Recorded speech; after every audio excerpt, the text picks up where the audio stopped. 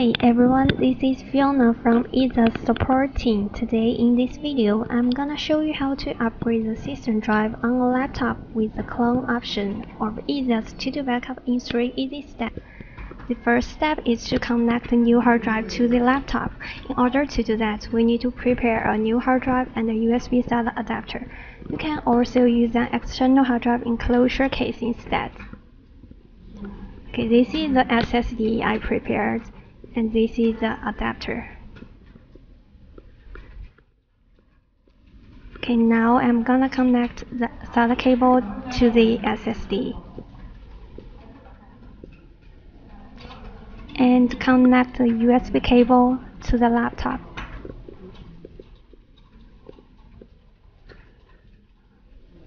Now the first step is done.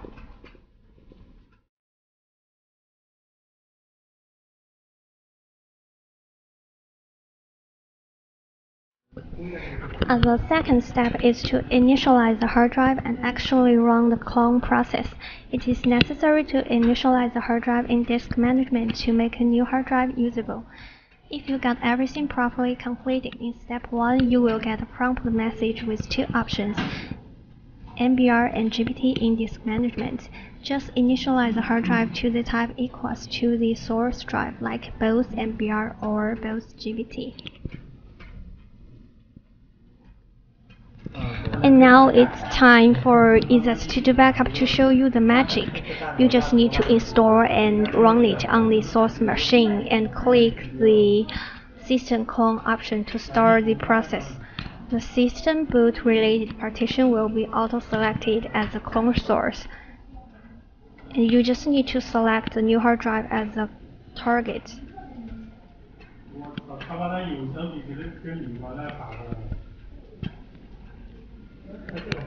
And please take the first option to ensure the SSD can get the best performance.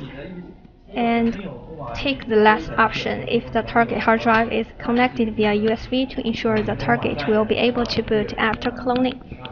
If you want to turn off the laptop after the cloning, you can just Take this option to automatically shut down the PC once the operation is done.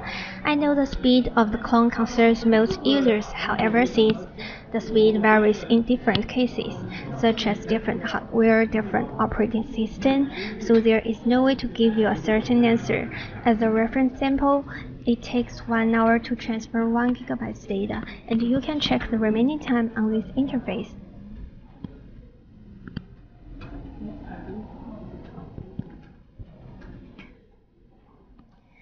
Uh, this is a screenshot of our enterprise version. It is different, but you can also find the system clone option easily on the homepage. The last step is to remove the source drive from the laptop and boot from the new SSD. In order to do it, we need to prepare a screwdriver, use it to loose the screws, and open the panel.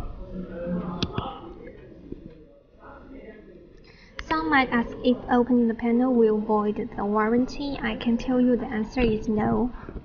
Just find the hard drive and remove it. We need to also lose the screws from the metal enclosure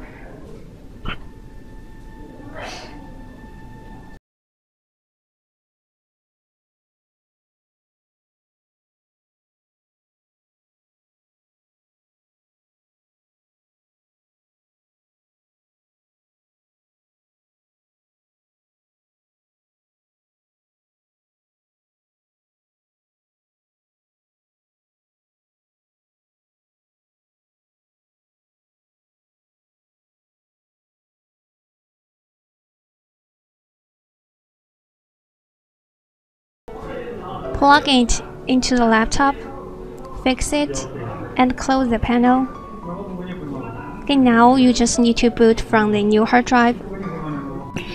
If you still have any questions about this operation or need any assistance through it, just feel free to drop an email to support at easeus.com or start an online live chat with us. Thank you for watching this video. Have a nice day. Bye bye.